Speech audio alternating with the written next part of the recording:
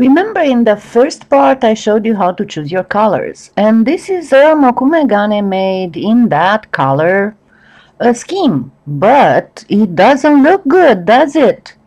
Remember that I showed you for example you can choose a shaded black and a tinted orangish yellow and a regular orangish yellow or um, a tinted blue or a shaded blue and then the tinted yellow. This is what's going on here. There are actually five different shades and uh, tints and uh, tones and then the layers were way too thin and the colors are getting lost.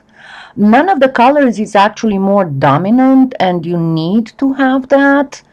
Uh, and there is too much deformation that's too crowded and think that that one is passed through the pasta machine so it was way more crowded than that so let's see. This is exactly that color scheme, the blue and the orangish yellow.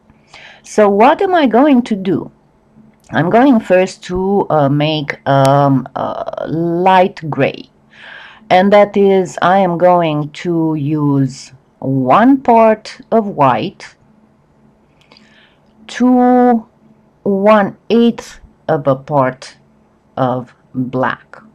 Well, yeah, usually it's a good idea when you don't try to cut through paper. It might come off easier. So one part white, one eighth of a part of black, that would be exactly like eight parts of white to one part of black. So I'm going to first make this gray. Make the gray. Make the gray. Okay, there we go.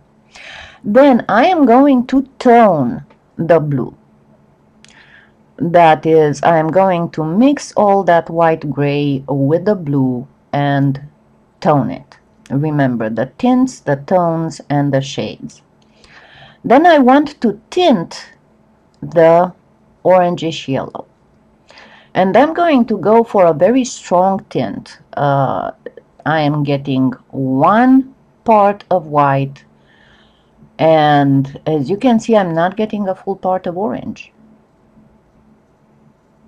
I am not getting even a half part of orange or a quarter.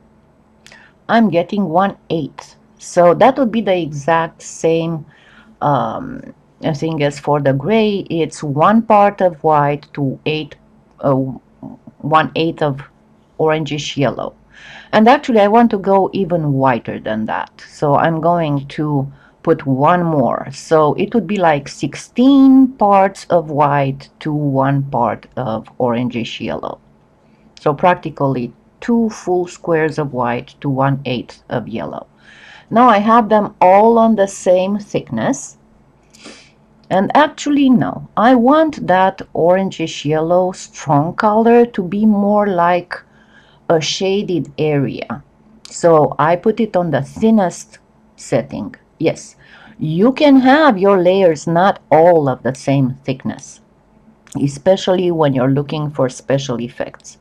So I will want that orangish yellow to be pretty much like a faint shadow aura around the blue so I have everything on the thickest setting except for the orangish yellow that's on the thinnest setting.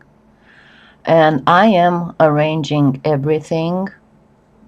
You saw it's black, then the toned blue, then the orangish yellow on thin, then the tinted orangish yellow, and let's try not to repeat the errors in that one.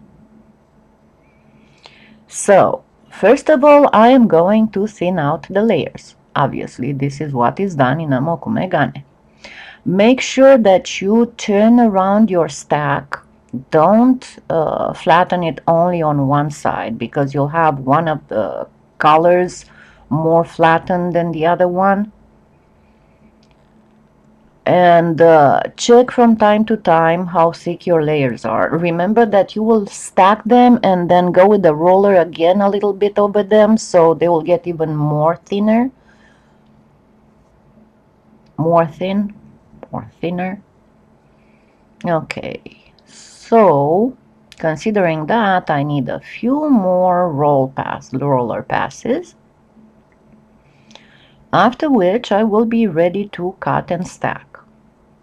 Now, as a piece of advice, uh, it is fine now, and as a piece of advice, usually you have the very bottom of the Mokume gane stack that is pretty much a loss. So one thing that you can do, you can just uh, take the pieces and scraps and you'll see that when I'm stacking, I am stacking the very last piece upside down and I'll explain in a moment why. So take all the trimmings and then just uh, mix them together. I am stacking it like that because usually the very top layer is a loss. So I don't want to have a loss. Uh, I'm taking the trimmings, I'm going to kind of twist them again and then flatten them with the roller and then put them at the very bottom of the stack. Being with the same colors as the stack, even if I get some slicing and the, with deformation, that will be just fine. But I am losing less clay this way. Now I'm going to flatten it a little bit more with a lot of care so I don't flatten them too much. Because you've seen what happens when you flatten too much. And once I am done, it looks good, I'm going to start deforming it. Now again, I don't, oh goodness, yes, that is a fork. No, I am not using the fork for eating because I already used it on polymer clay and I'm only using it on polymer clay. So, um, I'm not going to deform it too much. You saw I did two pokes with the um, fork, then I'll do two cuts with the wavy blade, then one cut with the rigid blade with the non-cutting side and then I'll make a few pokes with a paintbrush handle. And um, that will be pretty much it. I will start pushing my stack back together. And make sure that it is well uh, flattened so the layers came back in place forming the Mokume gane pattern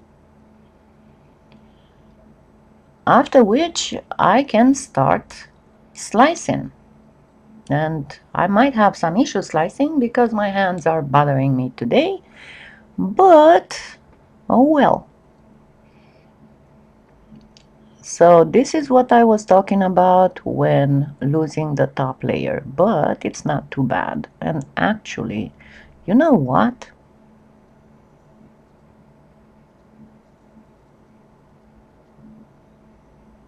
let's do it. And there we go. Now see how that orangish yellow that was on the thinnest setting uh, shows like just a faint aura of color around where the blue is?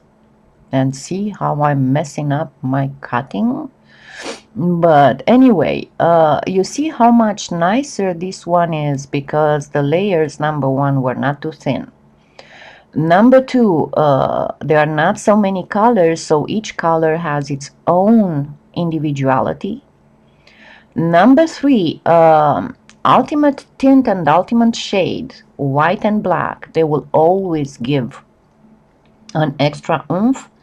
And I have kept the toned blue as the dominant color. So at this point, the tinted orangish yellow is just very faint around the white. The orangish yellow that was very thin is very faint around the blue. And I have as major colors the white, the toned blue, and the black. And the black kind of interferes, interferences with the blue so look at all these pretty patterns compared to if I would have done more deformation or if I would have uh, thinned out the layers even more than I did. So in Mokume gane, like in many other things when it comes to polymer clay, uh, less is more. You get way better effects and way better patterns when you don't go too thin, when you don't add too many colors, and when you don't do too much deformation because it's much nicer to get the patterns at the cut instead of having to go with them through the pasta machine in order to have to separate those layers that were way too thin and the crowding. And uh, I will show you in later parts of uh, the tutorial on Mokume Gane how you can get various effects, including 3D effects, even without using uh, pearlescents and metallics, because you can uh, obtain that even with the regular colors. But uh, in this episode, in this part, I wanted to address how you stack the layers and how you choose the colors. In the next one, we will be talking about uh, how uh, advanced layering happens and then on uh, deformation of the stack. And here you have both examples of the Mokume Gane.